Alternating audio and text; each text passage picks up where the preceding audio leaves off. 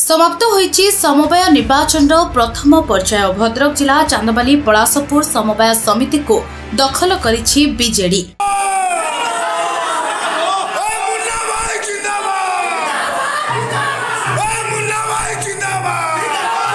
ନାଲଗୁଣ୍ଡା ଏବଂ ଖେରାଙ୍ଗ ଦୁଇ ପଞ୍ଚାୟତକୁ ନେଇ ଗଠିତ ପଳାଶପୁର ସେବା ସମବାୟ ସମିତି ଅଧୀନ ସମସ୍ତ ପନ୍ଦରରୁ ପନ୍ଦରଟି ଜୋନ୍ରେ ବିଜୁ ଜନତା ଦଳ ସମର୍ଥିତ ପ୍ରାର୍ଥୀ ବିଜୟ ଲାଭ କରିଛନ୍ତି।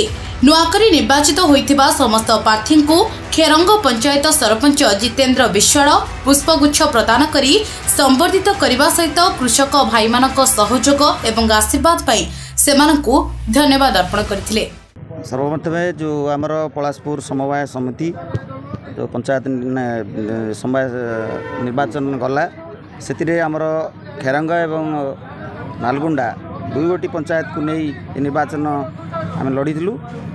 ସମସ୍ତ ପ୍ର- ପ୍ରଥମେ ଧନ୍ୟବାଦ ଦେଉଛୁ ସମସ୍ତ ବର୍ତ୍ତମାନ ଆମର ଯେଉଁ ପନ୍ଦର ଜଣ ମଣ୍ଡଳୀ ସଦସ୍ୟ ଏବଂ ସଦସ୍ୟାମାନଙ୍କୁ।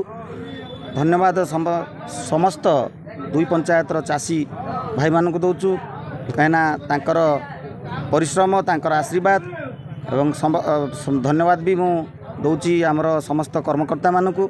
ସମସ୍ତଙ୍କର ସହାୟତା ଆଶୀର୍ବାଦ ହେତୁ ଇଏ ବିଜୟ ଲାଭ ଆମେ ଆମର ଏଇ ସମବାୟ ପଳାଶପୁର ସେବା ସମବାୟ ସମିତିର ବିପୁଳ ବିଜୟ ଆମେ ପନ୍ଦରକୁ ପନ୍ଦର ଜିତିଛୁ।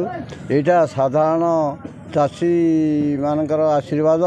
ଆଉ ତା ସହିତ ଆମର ମୁନ୍ନା ଭାଇଙ୍କର ଯେଉଁ ଅଦମ୍ୟ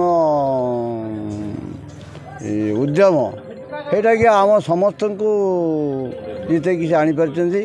ଆଉ ଆମେ ଲୋକମାନଙ୍କର କୌଣସି ପ୍ରକାର ଦଳଗତ ନିର୍ବିଶେଷରେ ସମସ୍ତଙ୍କର କାମ ଯେମିତି ସାର ହେଉନା କାହିଁକି ତାଙ୍କୁ କରିବା ପାଇଁ ଆମେ ପ୍ରସ୍ତୁତ। ଚାନ୍ଦବାଲିରୁ ପ୍ରଶାନ୍ତ କୁମାର ପାଣିଙ୍କ ରିପୋର୍ଟ ସନଷ୍ଟାର ଟିଭି।